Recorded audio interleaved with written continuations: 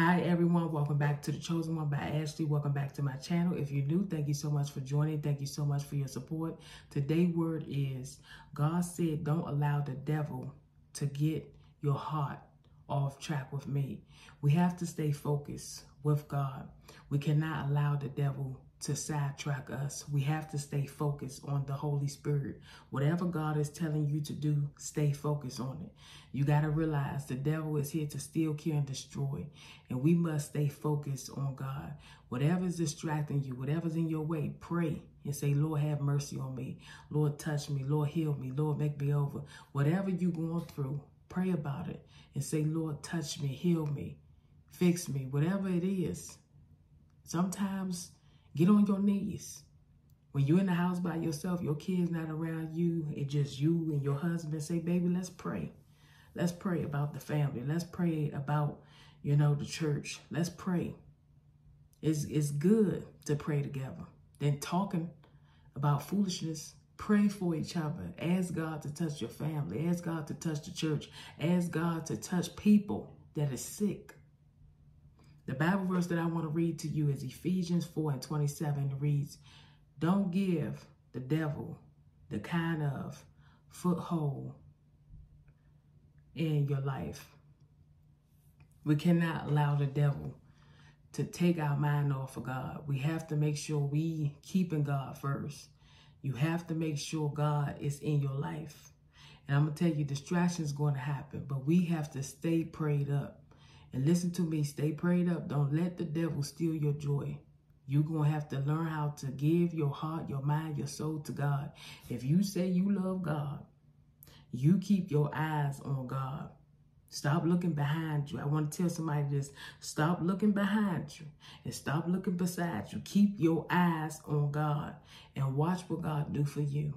Because when you keep your eyes on God and you stand prayed up and you fasting and you allowing God to work on you, he going to work on you. He going to work on your family. He going to work on the things that you have problems with.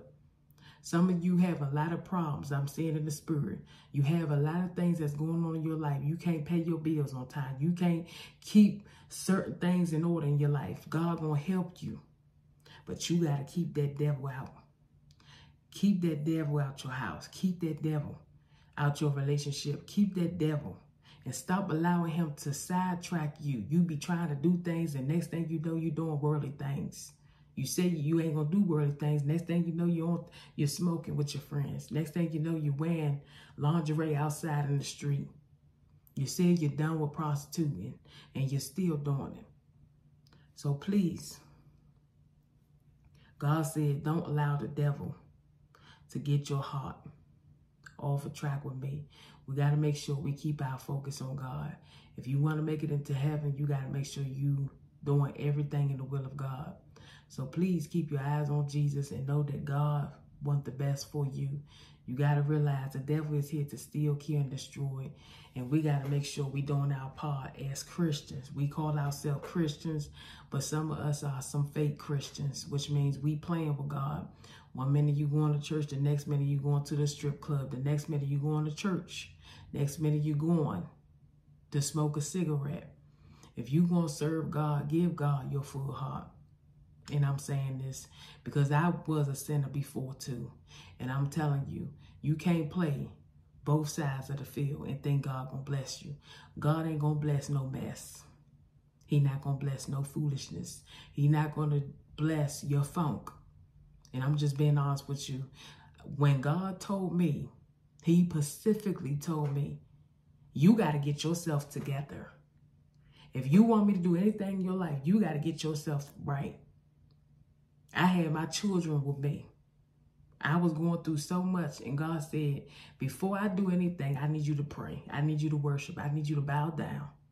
I did exactly what He told me to do. And after I got finished doing that, God allowed me to see myself walking out the door to be free. Ain't nothing in your life that you would always thank God for.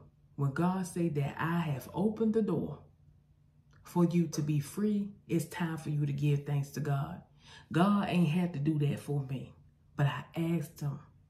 I said, God, if you get me out this situation, I will serve you for the rest of my life. And I and I mean that. Some of you, you say you do things for God, you ain't doing it. You just doing it just to show off. When you do something for God, make sure you put your whole heart in it. Don't just do it for money. Don't just do it because you want to check. Listen to me. I want to say this to somebody. What you do for God, God will bless you. I have got in so many unexpected checks before. What I do for God, I don't need no paycheck. Yeah, it may help me pay my bills, but listen, preaching the word of God, I love doing it from the heart. Money gonna come. It ain't about the money. It's about these people's souls. If your soul is burning up, if God say, if you going, listen to me, if God say two things to you, are you going to serve me or you going to serve the devil? Or you going to do what you want to do? Some of you that's watching me would say, I want to do what I want to do. You need to give your life to God. Somebody watching me, you still living your life the way you want to. You need to give your life to God. You need to give God your life because we are living in the last days where people are still like, Lord, I just don't know which way to go. I have been there in my life. I told y'all before, I am a living testimony. I was a sinner. And before I gave my life to God, I was having sex. I was doing things of the world. And God spoke to me. I was sleeping. I was in a deep sleep. And God told me specifically to change my life. And if you don't change, you're going to die. And I didn't have a lot of time. I didn't have a lot of time. And let me tell you, it was one time I was having sex. And the Lord told me to get off the person. Having sex, having fun, doing everything. And let me tell you this. God said, get off of them. I went to the bathroom, I cried, and I repent. Because I'm going to tell you this.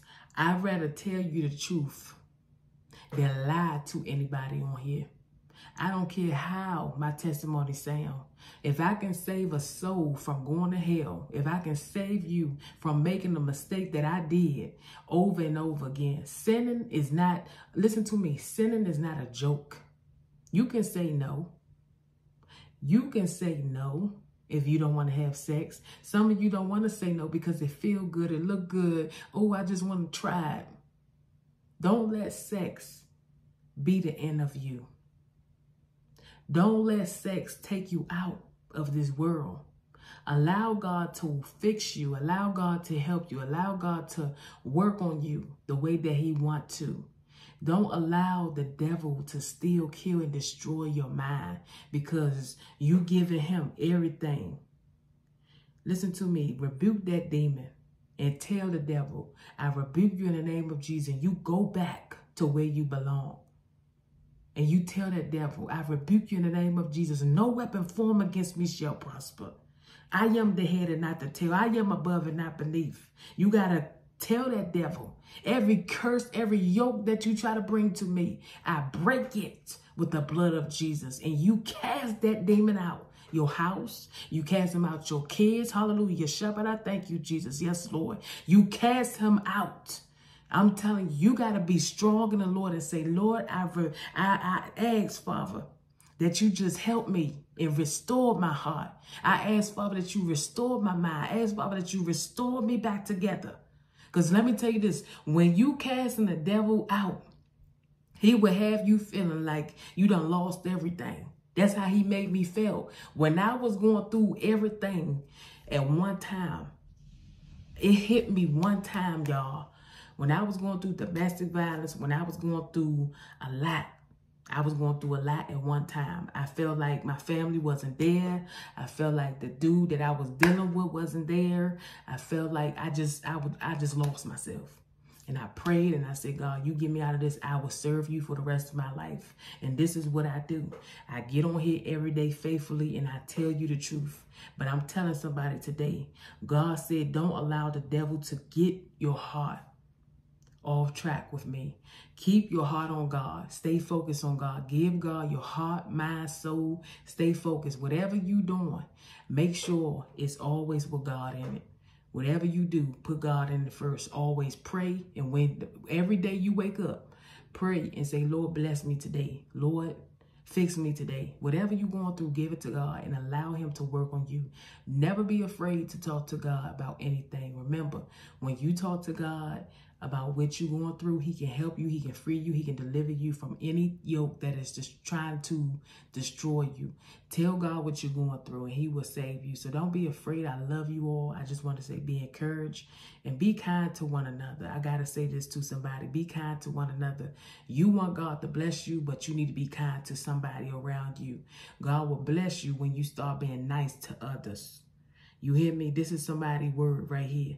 You got to learn how to be kind to somebody. Be kind to somebody around you and God will bless you. And I want to say this to somebody. Don't give up, but pray about all things. Give it to God and just let God hear your heart. Go back to Jesus and know that he will free you from every yoke, every curse, every rejection, every fear, everything that you're going through. I love you. Be encouraged. Stay blessed.